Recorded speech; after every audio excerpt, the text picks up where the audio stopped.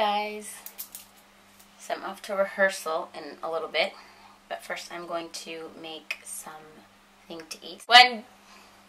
Yeah. What's up? Oh, you're yakisobaing it up? Yeah. Yakisoba! Yakisoba! But that's like cheap for. Look, it's the fish flakes. See how they move? Like they're alive? Oh, that's why I don't like them. Because they're alive. They're like dancing in your mouth. Ew. Yeah, no, they're getting picked off. Oh, see, she's not going to eat them either. Go and say hi. No. Show them how you enjoy your yakisoba. No. You're like, ow, mm, oh, they're so yummy. That's Gwen's unimpressed face. Oh, and mayo. This is a Japanese thing, guys. Put mayo on everything. Everything. I'm gonna zoom in on the mayo. Really creepy. Mayo. Forever mayo. Ooh. Say bye bye, Gwen. Enjoy your yakisoba. um, anyway, so I'm gonna make the miso soup before I leave for work. And as you can, ah, and I put my dashi in there, and as you can see, it's boiling too much. It's bubbling. So the dashi I make from the kombu, the seaweed, you just soak it for a few hours, and then all the flavor from the seaweed, all the minerals get in the water. And then I use just that very simple version. Um, and then I have my dehydrated um, ingredients, basically the seaweed, the tofu, the onion, the tamanegi, everything in here. So then I put that in my bowl. Put a little bit of that in here. Yep. Look. They're all in there nice and dry. And then I will take the dashi, the soup stock is dashi. Just in here nice and hot. Well, you're not supposed to let it boil, but yeah, well, anyway. Whoops. And then I'll put it in my bowl. And this is the miso in here. The miso, Japanese miso. And this is like, um, I like to get the, the really natural ones. Mmm, smells so good miso. Um, yeah, the, I don't like the ones that have already the the fish stock in it, the fish paste and all that. And then, me grab a spoon over here.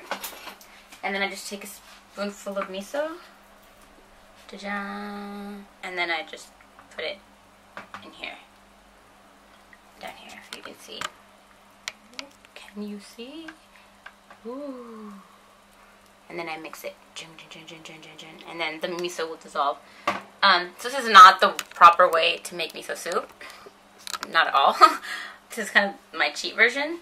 Um, basically, you can get just instant packages of miso, and it'll just be like the dehydrated vegetables, and then it'll be the stock will be kind of um, like a, the powder with like the stock flavor, and then you add that, and then you have like a little packet of miso, and then you would um, put the hot water and then the packet of miso, and it's basically the same thing I'm doing, except that I want to have control over what miso I'm eating. You know, I want to make sure I'm getting like the healthy kind without the preservatives and all that stuff, because I'm a little bitch anal about those things. So, yeah, so that's why I kind of make do my own version, and that way I can just buy these, and then I buy my own miso, and then I know what I'm doing, and I can make my own um, stock without any added salt or anything else. Else, and so yes, this is how I make miso soup. So I will be eating some miso soup and some brown rice today, and then I have yeah my rehearsal because I basically do kids shows. Or one of my jobs. I do different things here in Japan, but one of them is I actually yeah I do like like little well this one I'm doing is like a musical and it's for kids um, and it's in English so basically it's a way for them to um, to learn English in a way that's more fun.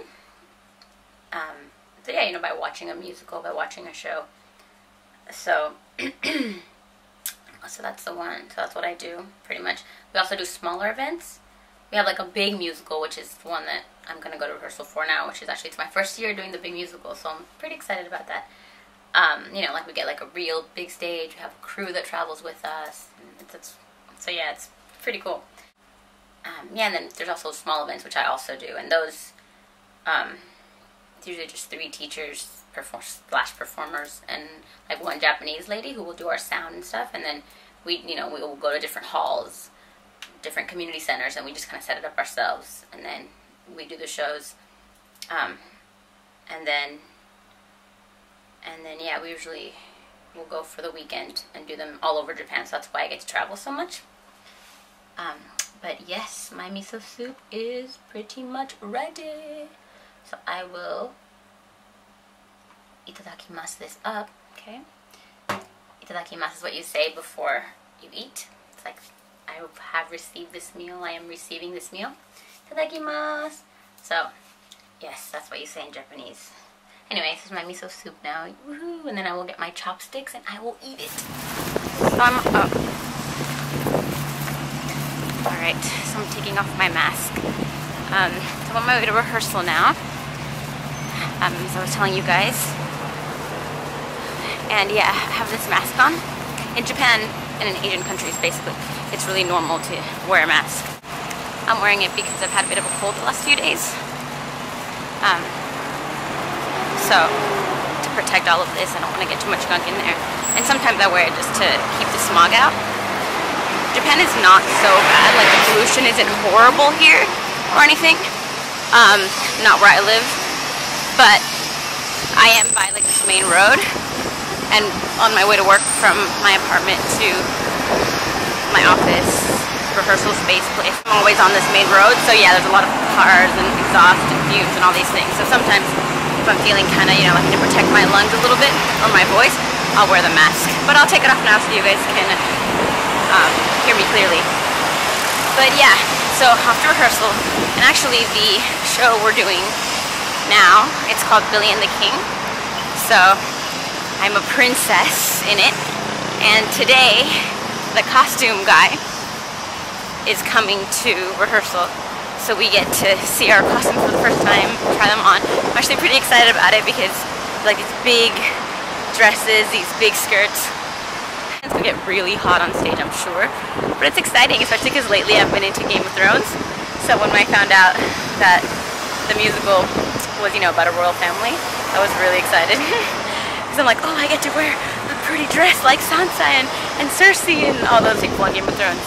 So this is a little bit of where I work. Actually, this is in Ogikubo in Japan. And I'm gonna show you guys just a little bit of the street. So you can see, that's the main intersection. Big truck. And uh,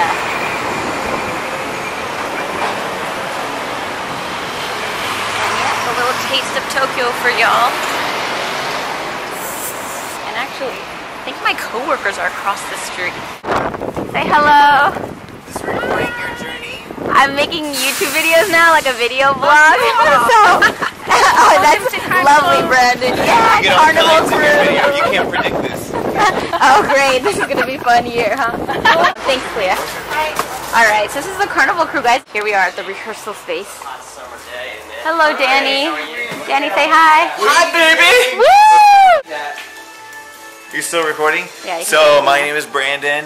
For all you uh, YouTube people out there, and I'm the star of the show. Peace out.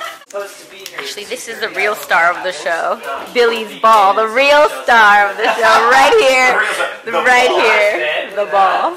Oh boy. Oh, baby. Right, guys. I guess this is Put mine. your stuff on, shall we? Boy, okay, let's try this on. It's our royal family. This is amazing. Look how beautiful these are. King Danny's kakoi. Hi there. Hello. This is our princess, my mother. There you go. Oh, we get accessories and everything, guys. Look, this is my dress. I'm the chill. I'm the the little girl. And there's Brandon. He's my little brother. We're the children. What's that? We're the children. Yes, we are. Do we look like children. This is glory. Yay. Hi, Zozo.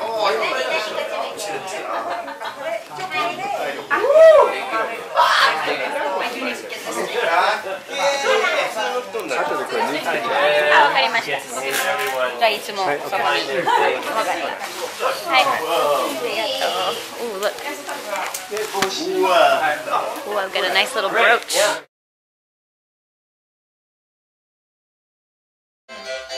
Can we do that? Ready? Dee da dee da dee.